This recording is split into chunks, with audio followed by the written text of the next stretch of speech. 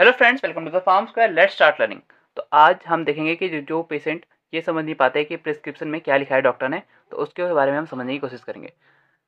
जैसे कि डॉक्टर ने लिखा है Pan forty B V F अब पेन का मतलब क्या है? पेन का मतलब जो सोल्ट है वो पेंटाप्राजोल है।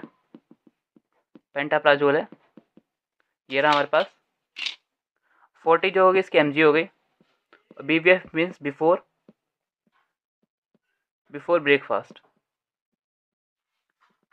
before breakfast इसकी जो है बी की फुल फॉर्म हो गई।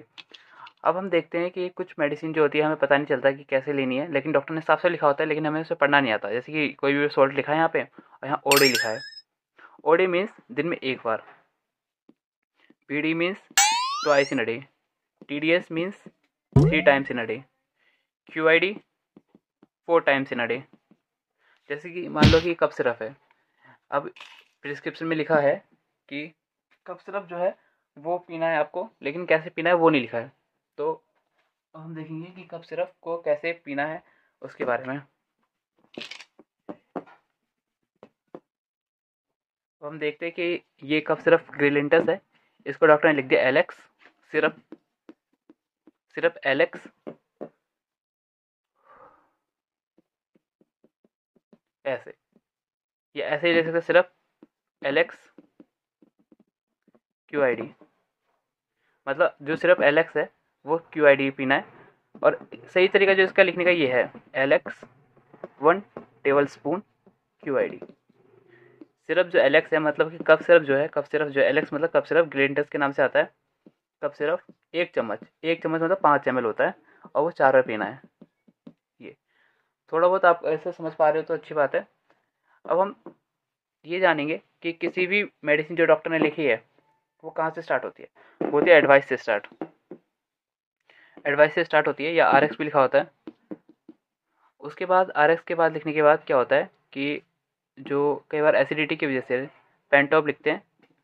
अब देखो डिफरेंस क्या अभी पेंटॉप लिखी थी हमने, अब पेन डी लिखा है। पेन डी लिखा है बी वी एफ़ अब पेन डी लिखने का मतलब क्या है कि पेंटाप्राजल और डोमपेडोन पेंटाप्राजोल और डोमपेडोन इसमें दो सोल्ट हो गए। एक हो गया पेंटाप्राजोल और एक हो गया डोमपेडोन फोर्टी एम में ये होता है और थर्टी एम में ये होता है, जैसे ये है। ये है पेंटाप्राजोल ठीक है? तो इसमें हम पेंडी में पेंटाप्राजोल नहीं देंगे, इसमें हम इसमें हम देंगे पेंटाप्राजोल और डोमपेडोन का कॉम्बिनेशन इसकी एम आपको दिख रही होगी। फोर्टी एम में है ये। ये फोर्टी एम में है पेंटाप्रोज और डोमपेडोन थर्टी एम में तो ये हो गया कि जो है मेडिसिन कैसे लेनी चाहिए और कहाँ पे लिखा होता है। अब हम ये चीज़ देखते हैं कि ये हाई ड्रॉप है। काफ़ी नाम से भी आती है, जैसे कि डॉक्टर ऐसे लिखेंगे E dot D eye drop Misty के नाम से आ जाएगी Misty refresh tear refresh tear eye mist में जाती नहीं, लेकिन दे देते हैं आई मिस्ट में कई लोग। आई मिस्ट तो जो इन सब में ये सॉल्ट कौन सा है? सॉल्ट है इसमें carboxy carboxy methyl cellulose cellulose ये बेसिकली ये क्या करती है? ये करती है आपका लुब्रिकेंट की तरह वर्क करती है। लुब्रिकेंट क्या होता है? जब ड्राइनेस आती है लुब्रिकेंट की तरह वर्क करती है। अब लुब्रिकेंट का मतलब क्या होता है कि आ, जो आपकी आइज़ अगर ड्राई होती है तो उसको ये आपको मॉइस्ट करती है। मतलब ड्राइनेस को प्रिवेंट करती है। और ड्राइनेस ही एक जो मोस्ट रीज़न होता है कि किसी भी आँख में अगर आपकी आइज़ में इन्फेक्शन है तो ड्राइनेस से वो स्टार्टिंग हो सकती है कि इन्फेक्शन होने का ड्राइनेस से। तो कभी आप देखे देखते होंगे कि डॉक्टर ने भले ही कोई सी भी आपको जो है आई ड्रॉप प्रिस्क्राइब करी है उसके साथ एक लुब्रिकेंट ज़रूर प्रिस्क्राइब करी होती है और वो मेनली ज़्यादातर जो होती है वो कार्बोक्सी मिथाइल सेलुलोस होती है। सीएमसी के नाम से भी आती है। एक एचपीएमसी होती है, उसमें जो सोल्ट है वो थोड़ा चेंज होता है। H P M C hydroxy propyl methyl cellulose आता है। ये कार्बोक्सी मिथाइल सेलुलोज है, वो हाइड्रोक्सी प्रोपाइल मिथाइल सेलुलोज हो जाता है। अब अगर आप देखो तो कुछ और भी है यहाँ पे। अभी तो आपको ये सिर्फ़ पता चला। अगर हम लिखते हैं यहाँ पे metformin metformin one gram S R B D और एक आपको पता होगा ग्लीमी प्राइड ग्लीमी प्राइड ये एग्ज़ाम्पल से मैं आपको समझा रहा हूँ two M G B B F B B F ठीक है? और यहाँ इसको बी वी एफ़ ना करके ऐसे लिखा हुआ है। बिफोर ब्रेकफास्ट और बिफोर डिनर। बीडियन। तो ये क्या होगा मेटफॉर्मिन आपको एक ग्राम वाली लेनी है। एक ग्राम वाली लेनी है और वो होनी चाहिए एस आर एस आर मतलब सस्टेन रिलीज़ सस्टेन रिलीज़। और बी डी का मतलब आपको बताया मैंने? बी डी का मतलब होता है two times in a day O D means one time B D means twice in a day T D S means three times in a day three times in a Q I D means four time in a day अब metformin आपको एक ग्राम वाली लेनी है, लेकिन कई लोगों को पता ही नहीं होता कि एस क्या है। सस्टेन रिलीज़ होता है, और आपको एक ग्राम वाली बोली है, लेकिन सस्टेन रिलीज़ बोली है। तो ये ध्यान दीजिए कि सस्टेन रिलीज़ लेनी है, वो भी सुबह शाम बीडी मतलब सुबह शाम। ग्लीमिप्राइड बोलिए टू एम में बोलिए दो एम की आपको लेनी है, वो भी सुबह खाली पेट बी मतलब बिफोर ब्रेकफास्ट और बी मतलब बिफोर डिनर तो ये आपको कुछ चीज़ें सिखाने की थी, ताकि जो लोग पढ़े लिखे हैं, जिन्हें चीज़ें समझ आती हैं, लेकिन वो डॉक्टर की राइटिंग को नहीं समझ पाते। हैं अगर आपको ये राइटिंग मेरी गंदी लग रही है तो इसमें आपकी कोई मिस्टेक नहीं है। लिखते लिखते प्रैक्टिस ही ऐसी हो जाती है कि ऐसे लिखना होता है। उसके बाद अगर हम देखते हैं कि किसी को आ, किसी को अगर कार्डियो की जो है प्रॉब्लम है तो उसमें एस्प्रिन जाती है। Aspirin seventy five M G O D भी जा सकती है। ये मैं लिखने का मतलब ये नहीं कि आपको ये अगर कार्डियो की कोई दिक्कत है तो आप जाके ले लें। नहीं नहीं बिल्कुल ऐसा नहीं है। सर एग्जांपल है कि आपको पढ़ना आना चाहिए। क्या लिखा क्या है। अब एस्प्रिन जो है, एक नाम से आती है इको स्प्रिन स्प्रिन इको स्प्रिन ये भी सेवेंटी फाइव एम जी ये वन फिफ्टी भी हो सकती है। आपकी कंडीशन पे डिपेंड करता है। बीडी भी हो सकती है। कई बार आपने देखा होगा कि जो है कॉम्बिनेशन में चलती है। जैसे पेंडी का दिखाया था मैंने पेंटाप्रोजल डोमपेडोन कॉम्बिनेशन में थी। और उसी तरह से ये चलती है इको स्प्रिन अटरवास। और लिखा होगा seventy five by twenty Ecosprin आपको सेवेंटी फाइव एम जी वाली लेनी है, और ए भी मतलब अटरवास। अटरवास ट्वेंटी एम वाली।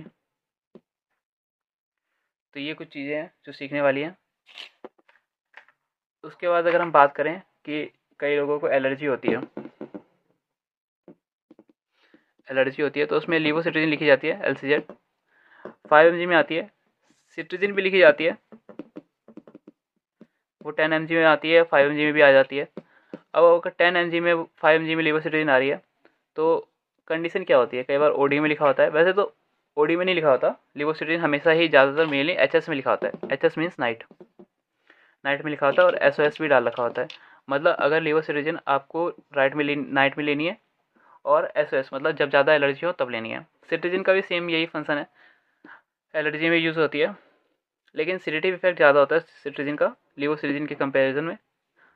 सिट्रिजिन में क्या है? टेन एम में लिखी है। मान लो सिट्रिजिन लिखी है टेन एम में और इसमें लिखा है कि आपको एच एस में लेनी है एच एस मीन्स जैसे ओ डी बी डी बताया था ना O D B D O D means once in a day B D means twice in a day T D S means three times in a day Q I D means four times in a day H S means night H S means night and S S means as you know emergency condition emergency तो ये कुछ चीज़ें हैं।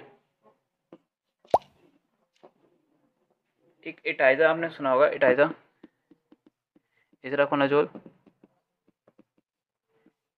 इजराकोनाजोल hundred M में भी आती है।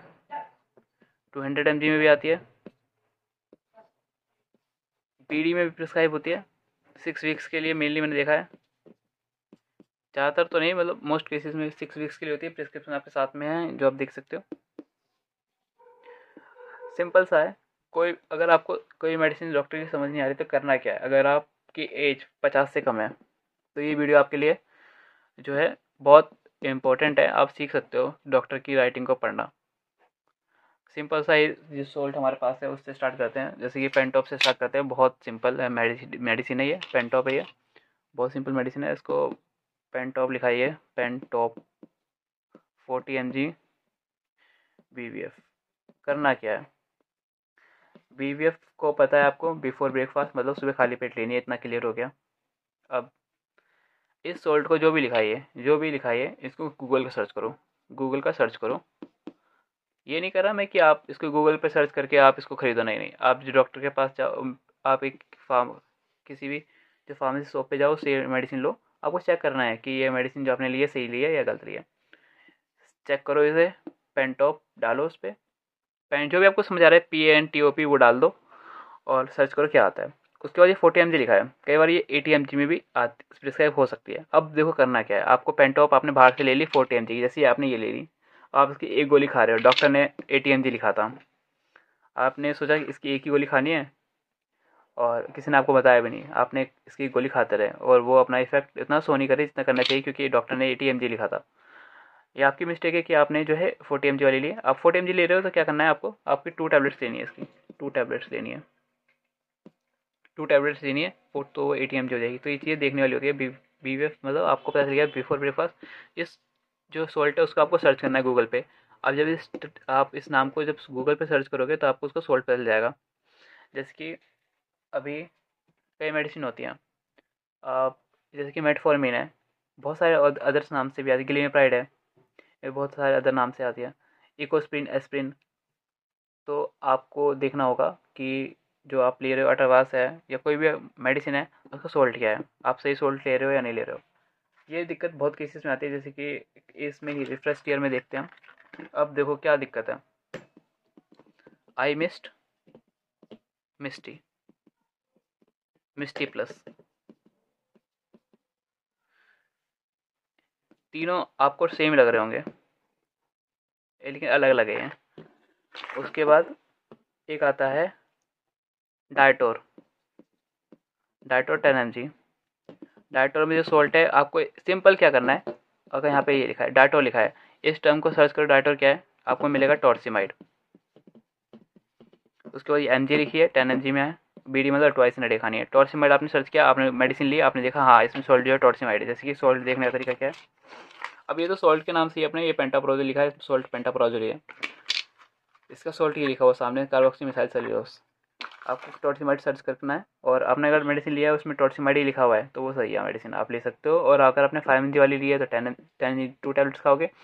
और अगर आपने फोर्टी एम जी वाली लिया है तो उसका वन फोर्थ जैसे वन फोर्थ करना नहीं चाहिए, क्योंकि कोई भी जो है, कोई भी जो है, उसको सही से वन फोर्थ कर नहीं पाता।